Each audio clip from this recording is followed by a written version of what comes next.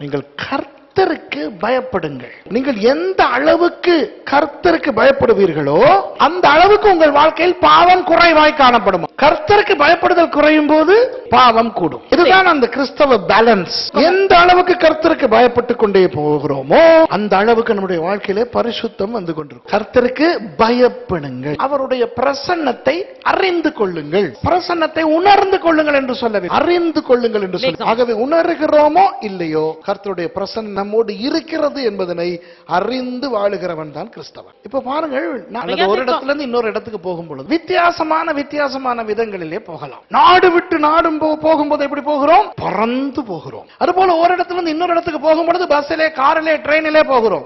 கிறிஸ்தவர்கள் வாகனத்தில் பிரயாணம் பண்ணுகிறவர்கள் அல்ல ஆவிக்குரிய ரீதியிலே. கிறிஸ்தவன் கார்ல போக கூடாதுன்னு நான் சொல்லல ஓகே ஆவிக்குரிய வாழ்க்கையிலே கிறிஸ்தவர்கள் தேவனுக்குள்ளாக முன்னேறி கொண்டு போகும் பொழுது அவர்கள் வாகனத்தில் போகிறவர்கள் அல்ல அவர்கள் காலில் நடக்கிறவர்கள். சில கிறிஸ்தவர்களுக்கு என்ன தெரியுமா நடக்கிறது? ரட்சிக்கப்பட்ட நாளிலிருந்து சபை எடுத்துக்கொள்ளப்படும் நாள் வரைக்கும் நடந்து போகின்றவன் தான் கிறிஸ்தவன். ரட்சிக்கப்பட்ட நாளிலிருந்து தாங்கள் மறிக்கும் வரையான அந்த நாட்கள் அதுதான் கிறிஸ்தவ வாழ்க்கை. இன்றைக்கு சில பேர் வந்து ரெண்டு தவறுகளை செய்கிறார்கள். ஒன்று ஓடுகிறார்கள் அடுத்தது நின்று கொண்டிருக்கிறார் சில கிறிஸ்தவர்கள் ஓடிக்கொண்டே இருப்பார்கள். அவசர வாழ்க்கை பொறுமை இல்லை அவசரமான ஆவிக்குரிய வாழ்க்கை. இன்றைக்கு சில குடும்பங்களிலே இப்படிப்பட்டவர்கள் இருக்கும் பொழுது மற்றவர்களுக்கு பெரிய தலைவலியாய் இருக்கும். அவரிடத்தில் அன்பு கூர்ந்து. ஆண்டவர் என்னத்தை எதிர்பார்க்கிறார் உங்களிடத்திலிருந்து? அவர் மேல் அன்பு வைக்கவாம் அந்த அந்த கூர்ந்து என்ற அந்த சொல்லை எபிரேய மொழியிலே நான் பார்த்தேன். இந்த அன்பு கூர்ந்து அந்த கூர்ந்து என்ற சொல்ல என்ன தெரியுமா?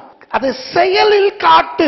அன்பு உள்ளத்துல இருந்தால் போதாது. அதை நீ செயலில் காட்டு. இதே சொல் தான் புதிய ஏற்பாட்டிலே கிரேக்க மொழியிலே புருஷன் மனைவியின் மேல் அன்பு கூர்ந்து என்று இருக்கிறதே புருஷன் மனைவியின் மேல் அன்பு வைத்திருந்தால் போதாது. அதை காட்ட வேண்டும். அது போல ஆண்டவர் எதிர்பார்க்கிறார் நீங்கள் ஆண்டவருக்கு அன்பை காட்ட வேண்டும். நீங்கள் எந்த அளவுக்கு ஆண்டவர் மேல் அன்பு வைக்கிறீர்களோ உலகம் மேல் இருக்கிற அன்பு குறையும். எந்த அளவுக்கு உலகம் மேல் உங்களுக்கு அன்பு கூடுமோ ஆண்டவர் மேல் வைத்த அன்பு குறையும்.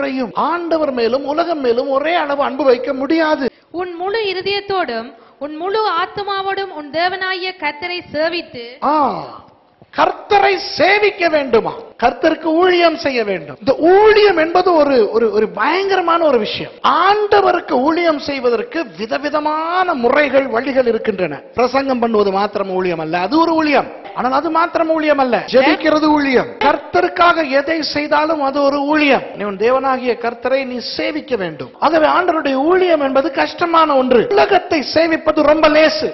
ஆண்டவருக்கு ஊழியம் செய்வது கஷ்டம். ஊழியம் ஏதாவது ஒரு ஊழியம் நீங்கள் செய்துதான் ஆக வேண்டும். அது ஜெப ஊழியமா இருக்கட்டும் நீங்கள் சுவிசேஷம் அறிவிக்கின்ற ஊழியமா இருக்கட்டும் ஆலோசனை ஊழியமா இருக்கட்டும் நாட்காலிகள் அடுக்குகிற ஊழியமா இருக்கட்டும் ஆராதனை நடத்துகிற ஊழியமா இருக்கட்டும் பிரசங்க ஊழியமா இருக்கட்டும் எல்லாருமே ஊழியம் செய்ய வேண்டும். ஊழியத்துக்கு அழைக்கப்பட்டிருக்கிறேனா இல்லையா என்று அனாவசியமாக காலத்தை வீணாக்கி கொண்டிருக்கிறார்கள் சிலர். இன்றைக்கு அநேகர் என்ன நினைக்கிறார்கள் என்றால் கர்த்தருக்கு ஊழியம் செய்வதனால் என்ன பலன்? பலன் எதிர்பார்த்து ஊழியம் செய்வதல்ல. கர்த்தர் நமக்காக செய்த காரியங்கள் நிமித்தமா அவருக்கு ஊழியம் செய்ய வேண்டும். அவர் இன்றைக்கு நமக்கு ரட்சிப்பை கொடுத்திருக்கிறார் சுகத்தை கொடுத்திருக்கிறார் பரலோகத்துக்கு எங்களை கொண்டு போகிறார். அவருக்கு ஊழியம் செய்ய வேண்டும். அந்த ஊழியம் செய்யும் போது ஆண்டவருடைய கனம் நமக்கு கிடைக்கிறது. ஒருவன் எனக்கு ஊழியம் செய்தால் என் பிதா அவனை கனம் பண்ணுவதாக இயேசு சொல்லி இருக்கிறார் என்ன ஊழியம் செய்தால் என்று சொல்லவில்லையே? ஒருவன் எனக்கு பிரசங்க ஊழியம் செய்தால் பிதா அவனை கனம் பண்ணுவார் என்று சொன்னாரா? ஆகவே ஒரு சின்ன ஒரு வேலையை சரி ஆண்டவருக்காக செய்யும் போது ஆண்டவர் அந்த மனுஷனை கனம் பண்ணுகிறார். அப்படியானால் நாமும் ஒருவரை ஒருவர் கனம் பண்ண வேண்டுமே?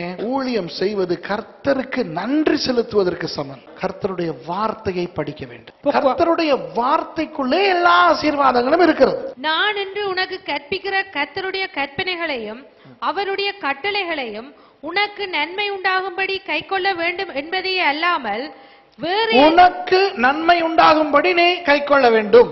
இந்த வார்த்தையை கைக்கொள்ளும் பொழுது அதனால் ஆண்டவர் என்ன செய்கிறாராம்? உங்களுக்கு நன்மையை கொடுக்கிறார். நம்முடைய வாழ்க்கையில் நன்மைகள் தேவை அல்லவா? உண்மையாக வேதத்துக்கு கீழ்ப்படிந்து வாழும்போது உனக்கு நன்மை உண்டாகும் என்று இந்த வசனம் சொல்ற பெரிய பெரிய விஷயம்லாம் ஆண்டவர் கேட்கல. ஐந்தே காரியங்களை கேட்க. கர்த்தருக்கு பயப்படவாம். அவர் நமக்கென வைத்த அந்த அவருடைய வழியில் நடக்கவா? அவர் மேல் வைத்த அந்த அன்பை காட்டவா? அவருக்கு ஊழியம் செய்யவா? அவருடைய வார்த்தைக்கு கீழ்ப்படி. இந்த ஐந்து காரியங்களையும் மாத்திரம் நம்முடைய வாழ்க்கையில செய்தால் நம்முடைய வாழ்க்கை மேம்படும் ஆசீர்வதிக்கப்படும். கர்த்தர் எங்கள் மேல் பிரியமாயிரும்